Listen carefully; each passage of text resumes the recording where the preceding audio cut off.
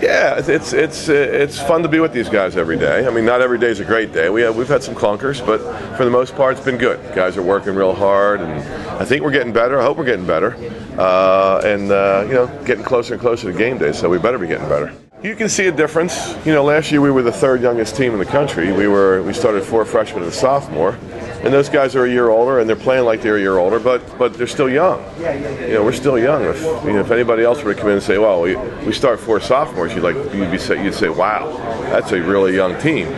It's just that uh, you know it's that weird thing where we're a year older and it's the same guys that started last year. So, well, we hope it can be a real strength for us. We think Juan'ya Green and Antoine Mason are terrific backcourt, and you know we're trying to sell them on the fact that this is kind of their team. You know, I had that conversation with them with, with them the other day. Boy, I'll tell you what. I mean, whatever league you're in is the toughest league in the country. You know, every coach will tell you, "Oh, we got the toughest league in the country." So, whatever league you're in is the toughest league in the country, but you know, I think there's one team that I would certainly not mention right now, but there's one team that, that, that may struggle a little bit, but, but they will still win games. And I think there's one or two teams that are just a little bit better than everybody else. But after that, the other seven, it's just going to be a, it'll be a war every night. I mean, it's just everybody's the same. If we can keep getting better every day, if we can get something out of the middle, you know, uh, we can we can uh, we can be a team that by the end of the by the end of the year we can be in the mix. Well, that's it. You, have to have some sort of a presence in the middle. Um, you know, we have uh, probably a three-headed monster there.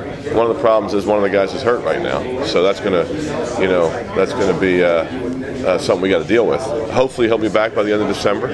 But you know, then that's Devin White. He's kind of hurt right now, but you know, Joe Thomas and Scooter Gillette, you know, those guys are going to have to, you know, rebound, defend, guard their area, and, uh, you know, make a difference for us. Well, you know, I, you're talking to a guy that spent most of his life in Philadelphia with the Big Five.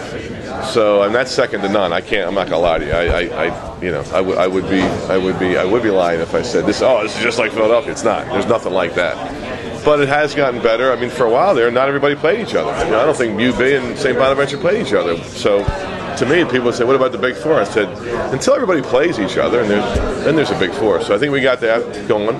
Things like this help, but uh, you know, just in general, I think it's uh, it's an underrated it's an underrated thing. This this this Big Four because four good programs, four good college basketball rivalries, and something I hope everybody around here can appreciate.